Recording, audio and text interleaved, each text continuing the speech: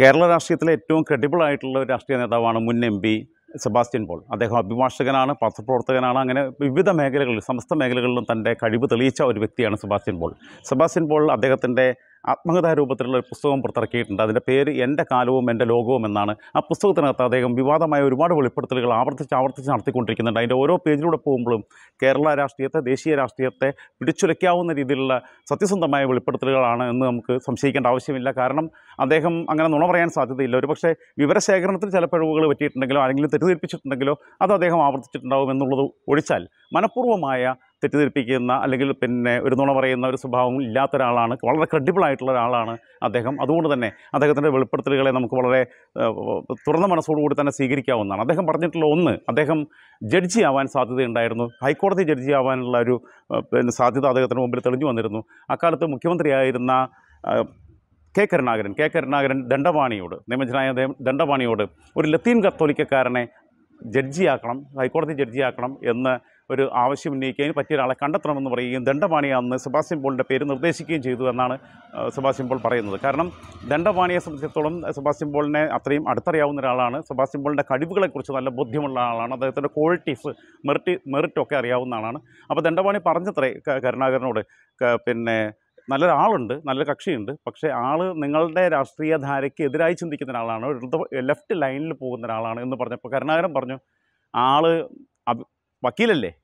എന്നാണ് ചോദിച്ചത്. ലത്തീൻകാരനാണോ വക്കീലാണോ എന്നുള്ളതാണ്. ലത്തീൻ കത്തോലിക്ക സമുദായത്തിൽ നിന്ന് അക്കാലത്ത് വളരെ സമ്മർദ്ദമുണ്ടായിരുന്നു. ഹൈക്കോടതി ജഡ്ജിമാരായി അക്കാലം വരെ ഒരു ലത്തീൻ കത്തോലിക്കനും വന്നിട്ടില്ല എന്നുള്ള ഒരു ആക്ഷേപം അവർക്കുണ്ടായിരുന്നു. അതുകൊണ്ട് തന്നെ ലത്തീൻ കത്തോലിക്ക സമുദായത്തെ അന്നത്തെ നിർണായകമായ ഒരു തെരഞ്ഞെടുപ്പിൽ ഇടത് ഇടതുപക്ഷ ധാരയിലേക്ക് അവർ പോകാതെ അവരെ ഐക്യമുന്നണിക്ക് അവരുടെ വോട്ട് ബാങ്ക് ഉറപ്പിക്കുക എന്നൊരു തന്ത്രവും കരുണാകരന്റെ മനസ്സിലുണ്ടായിരുന്നു. പക്ഷേ എന്തോ പ്രത്യേക സാഹചര്യത്തിൽ ലോക്സഭയിലേക്ക് അദ്ദേഹത്തിന് മത്സരിക്കേണ്ടി വന്നു എറണാകുളം ലോക്സഭാ മണ്ഡലത്തിൽ നിന്ന്. അതുകൊണ്ട് തന്നെ സാധ്യത ഇല്ലാതായി. കാരണം അദ്ദേഹം ലോക്സഭയായി എം പി ആയി.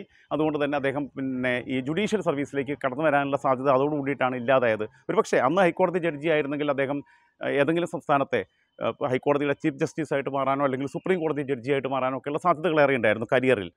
മറ്റൊന്ന് അദ്ദേഹം പറയുന്നത് അദ്ദേഹത്തിന്റെ നിയമസഭാ സ്ഥാനാർത്ഥിയായിട്ട് മത്സരിച്ച് വിജയിച്ച സമയത്ത് ടി ജെ ആഞ്ചലോസിനെ പോലെയുള്ള ലത്തീൻ കത്തോലിക്കനായ ഒരാൾ സി പി എം വിട്ട് സി പി ഐയിലേക്ക് പോവുകയും ചെയ്ത സാഹചര്യത്തിൽ സി പി എമ്മിനകത്ത് ലത്തീൻ കത്തോലിക്കരായിട്ടുള്ള പ്രമുഖരായ നേതാക്കന്മാർ ആരും ഇല്ലാത്തതുകൊണ്ട് ഇദ്ദേഹത്തെ സംസ്ഥാന മന്ത്രിസഭയിൽ ഉൾപ്പെടുത്താനുള്ള ശ്രമം നടന്നിരുന്നു. പക്ഷേ അത് ചില ആളുകൾ അദ്ദേഹത്തെ വെട്ടിയതുകൊണ്ട് നടന്നില്ല എന്ന് അദ്ദേഹം പറയുന്നുണ്ട്. മറ്റൊന്ന് അദ്ദേഹം പറയുന്നത് ഐക്യമുന്നണി സർക്കാരിന്റെയും യു പി എ സർക്കാരിന്റെയും കാലത്ത് ഐക്യമുന്നണി സർക്കാർ എന്ന് പറയുമ്പോൾ ദേവഗൗഡയും ഗുജറാളും ഒക്കെ പ്രധാനമന്ത്രിമാരായിരുന്ന സമയത്തും അതേപോലെ തന്നെ അതിനുശേഷം മൻമോഹൻ സിംഗ് പ്രധാനമന്ത്രിയായിരുന്ന സമയത്തുമൊക്കെ ഉണ്ടായിരുന്നൊരു ബുദ്ധിമുട്ട് ആ മന്ത്രിസഭയിൽ ചേരണ്ട എന്ന് സി പി എം താത്വികമായ ഒരു തീരുമാനമെടുക്കുകയും അതിനെയാണ് പ്രധാനമന്ത്രി സ്ഥാനം കയ്യിൽ കിട്ടിയതാണ്. ജ്യോതി ബസുവിനെ പ്രധാനമന്ത്രിയാക്കാമെന്ന നിർദ്ദേശം എല്ലാ കക്ഷികളും വിവിധ സംസ്ഥാനങ്ങളിൽ നിന്നുള്ള പ്രാദേശിക കക്ഷികൾ ദേശീയ തലത്തിലുള്ള മറ്റ് പാർട്ടികളെല്ലാം തന്നെ മുന്നോട്ട് വെച്ചെങ്കിലും ജ്യോതി ബസുവിനെ ഐക്യകണ്ഠേനെ അവർ പ്രധാനമന്ത്രി സ്ഥാനത്തേക്ക് നിർദ്ദേശിച്ചെങ്കിലും അത് സി പി എം അന്ന് തള്ളിക്കളയുകയാണ് ചെയ്തത്. ഹരികൃഷ്ണൻ സിംഗ് സുർജിത്തിനും ജ്യോതി ബസിനും അതിന് താല്പര്യം ഉണ്ടായിരുന്നെങ്കിലും ഇ എം എസും ഇ എം എസിന്റെ വലങ്കൈകളായിട്ട് അന്ന് അറിയപ്പെട്ടിരുന്ന യുവതുർക്കികളായിട്ടുണ്ടായിരുന്ന അന്ന് അക്കാലത്ത് സീതാറാം യെച്ചൂരിയും പ്രകാശ് കാരാട്ടും ഉൾപ്പെടെയുള്ള